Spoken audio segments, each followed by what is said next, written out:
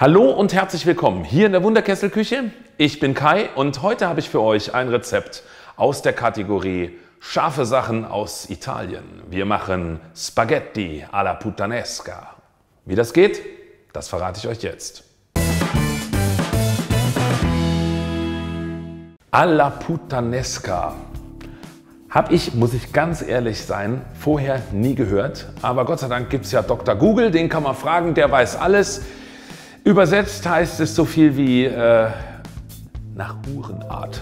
Ich weiß gar nicht, ob man das bei YouTube sagen darf. Ich sage es trotzdem, denn es ist nun mal ein klassisches neapolitanisches Gericht.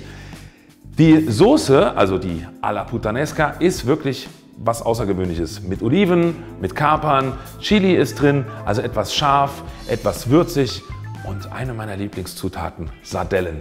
Die kommt natürlich auch rein. Wir blenden euch das jetzt hier mal ein, was man noch so braucht. Wir haben passierte Tomaten oder Tomatenpüree, wir brauchen äh, Tomatenmark, Oliven, Kapern hatte ich schon gesagt, Zwiebel, eine Chilischote, dann haben wir eine Knoblauchzehe hier vorne, die habe ich schon mal ein bisschen kleiner gehackt, weil ich vergessen habe, dass das normalerweise auch der Thermomix machen kann.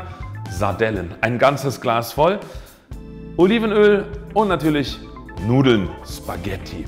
Wasser brauchen wir natürlich auch, ganz klar, wichtige Sache. Ohne Wasser können wir keine Spaghetti kochen. Aber jetzt fangen wir mal an mit den Puttanesca.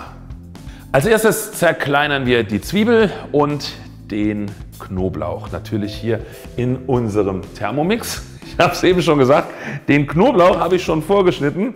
Und ich weiß nicht, ob euch das auch manchmal so geht. Du bist am Schnippeln und denkst, ja, mach's mal schön klein. Und dann fällt dir ein, ha, hätte ja eigentlich auch der Kessel machen können. So, neben dem schon klein geschnittenen Knoblauch kommt auch die Chilischote mit rein. Die habe ich entkernt, das ist ganz wichtig, weil die Kerne natürlich das extrem scharfe sind. Und wie euch vielleicht auffällt, ich versuche es zu vermeiden, die mit den Fingern zu berühren. Aus leidvoller Erfahrung weiß ich, in dem Moment, wo ich das Ding anfasse, fängt es mir an, in den Augen zu jucken. Wir zerkleinern das Ganze jetzt 5 Sekunden auf Stufe 6. Ich setze mal noch den Messbecher ein, damit da nichts passiert und los geht's. Das Olivenöl brauchen wir zum Dünsten. 20 Gramm davon in unseren Kessel. Und jetzt wird es gedünstet. 3 Minuten Varoma Stufe 1. Ich hoffe, dass das passt, weil manchmal ist es ja so, wenn man Chili anbrät, dann fangen die Augen an zu tränen. Aber hier ist ja der Messbecher drauf. Ich melde mich in drei Minuten wieder. Zwiebeln, Chili, Knoblauch ist gedünstet und kein Tränen in den Augen, aber natürlich der entsprechend scharfe Geruch. Weiter geht's in unserem Rezept. Ich habe hier zwölf schwarze Oliven, die sind entsteint und es sind genau zwölf.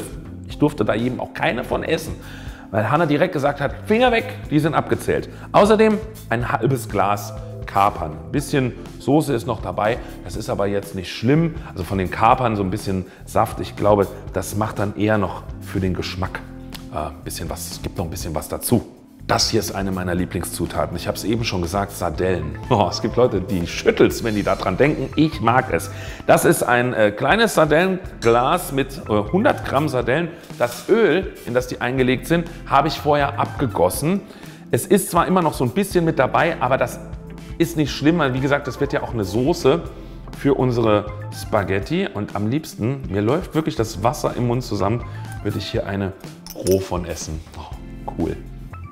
Ich weiß nicht, wie ist denn das bei euch? Schreibt mal in die Kommentare, mögt ihr Kapern und Sardellen? Das spaltet die Nation, glaube ich. Wobei, ich denke, wenn ihr es nicht mögen würdet, hättet ihr jetzt schon abgeschaltet.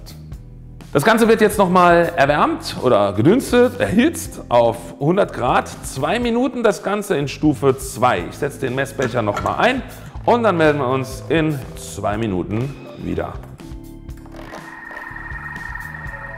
Bingo! Unsere Sardellen Kapern, Chili, Knoblauch, Zwiebel, Grundsoße ist erwärmt. Es riecht wirklich lecker. Wie gesagt, es spaltet nicht nur die Nation, sondern auch die Wunderkesselküche. Die liebe Hanna hinter der Kamera ist schon so ein kleines bisschen grün im Gesicht bei der Vorstellung an Kapern. Aber es kommt ja noch ein bisschen mehr was rein. Und zwar Tomatenpüree, also passierte Tomaten, davon 200 Gramm. Das hier ist eine 400 Gramm Packung, deswegen wiege ich das Ganze jetzt ab. So, es ist ein bisschen mehr geworden, das macht aber nichts. Tomatenmark kommen 50 Gramm rein.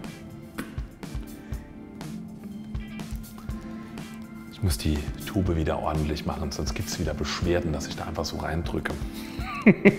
Aber ich habe euch mal in der Folge gezeigt, was ich dann tue. Ne? 500 Gramm Wasser ebenfalls noch in den Kessel. Und natürlich muss noch Salz rein, und zwar ein ganzer Esslöffel. Irgendwie habe ich nur dieses äh, Salzmühlensalz hier zur Verfügung. Deswegen gebe ich das jetzt aus der Mühle hier rein. Meine Mühle, meine Küche, ich tue hier, was ich will. Wir pürieren das Ganze jetzt nochmal und zwar 8 Sekunden auf Stufe 6. Und jetzt wird es 6 Minuten lang gekocht. 100 Grad, Stufe 2. Und dann ist unsere Soße ja, soweit fertig. Was dann mit den Spaghettis passiert, das erfahrt ihr in 6 Minuten. Bis gleich. Ich finde, es riecht fantastisch. Unsere Puttanesca Soße. In dieser Soße kochen wir jetzt aber auch noch die Spaghetti und zwar im Thermomix. Schaut mal in unseren Kanal, wir haben da schon mal ein Experiment gemacht, wie man Spaghetti kocht. Falls ihr den Kanal noch nicht abonniert habt, dann solltet ihr das jetzt tun. Da unten ist so eine Glocke, da drückt ihr drauf, dann kriegt ihr sogar eine Meldung, wenn es ein neues Rezept gibt, weil wir machen hier nicht nur Pasta und Spaghetti, ganz, ganz viele andere tolle Gerichte jede Woche. Also abonnieren und wenn euch das Video hier gefällt, lasst mal einen Daumen nach oben da. Mein Lieblingsmoment kommt jetzt, nämlich die Spaghetti in den Thermomix. Man kann es sich nicht vorstellen, aber es funktioniert tatsächlich.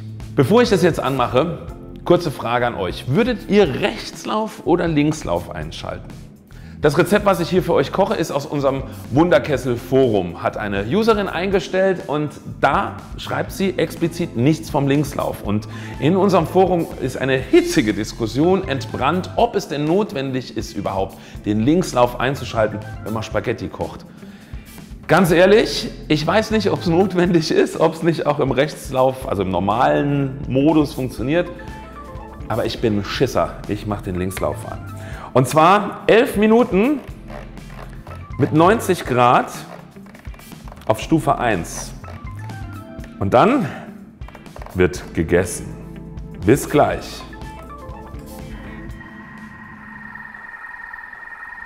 So, die Nudeln sind jetzt ganz verschwunden. Es sind noch nicht 11 Minuten rum, wie ihr seht. Aber ich mache jetzt mal den Messbecher drauf, damit das ordentlich kochen kann. Bis gleich. Das war's. Das Essen ist fertig. Ich freue mich wirklich drauf. Ich bin ja, ich hatte es anfangs schon gesagt, ein großer Fan von Pasta. Ich bin ein großer Fan von Sardellen und von Kapern. Jetzt gucken wir mal, wie die Kombination geworden ist. Das Schöne ist, man kann das direkt so aus dem Topf nehmen. Die Nudeln sind perfekt al dente, weil ich will ein bisschen mehr Soße haben. Weniger Nudeln. Kriege ich das mit dieser Kelle? Natürlich nicht. Eine andere Kelle. Aber ich habe es probiert. Ne? Ich äh, habe es probiert, mit dieser Kelle hier noch mehr Soße drauf zu machen. Ach komm, fürs Probieren reicht's. Mein Lieblingsmoment in der Wunderkesselküche, immer und immer wieder, Kai probiert Essen. Ja, und das tue ich sehr gerne und sehr häufig. Oh, und wenn es um so Essen geht, dann noch zweimal mehr. Es ist noch ein bisschen heiß. Mmh, mmh,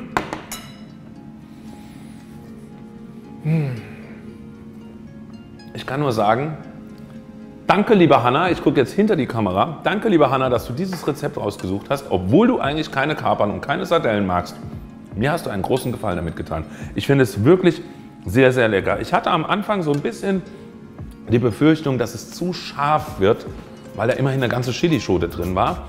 Ähm, es ist genau ausgewogen. Es ist natürlich, ja, sehr würzig salzig. Ne? Kapern sind salzig, Sardellen sind salzig. Wir haben einen Esslöffel Salz da drin. Wenn man das ein bisschen reduziert, ist das nicht unbedingt schlecht. Aber ich finde es genial so. Für mich ist es ausgewogen, rund, passt, schmeckt, essig. Von mir Daumen nach oben und von euch hoffentlich auch für dieses Video. Ich sage bis zum nächsten Mal Tschüss und guten Appetit.